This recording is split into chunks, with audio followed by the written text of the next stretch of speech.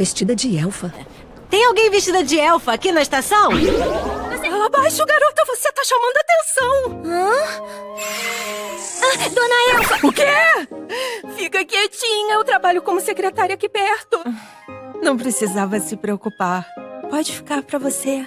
Como foi seu primeiro DVD? Eu adoro ela! Um dia eu quero fazer um DVD tão bom quanto o maior sucesso dela.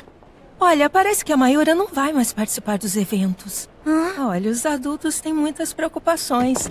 Mas eu vou dizer a ela que encontrei vocês, tá bom? Deve ter acontecido alguma coisa muito séria. Se eu continuar indo aos eventos de cosplay, talvez um dia eu encontre ela de novo. Masamune, eu vou participar da Comiquete de Verão. Foi então que a Ririza decidiu começar a falar os seus verdadeiros sentimentos para o Masamune, e o Masamune não estava esperando por isso, e isso deixou ele muito nervoso, mas algo muito engraçado acabou acontecendo. Eu só consegui ir ao evento hoje e fazer o DVD. E me vestir de Liliel graças a você.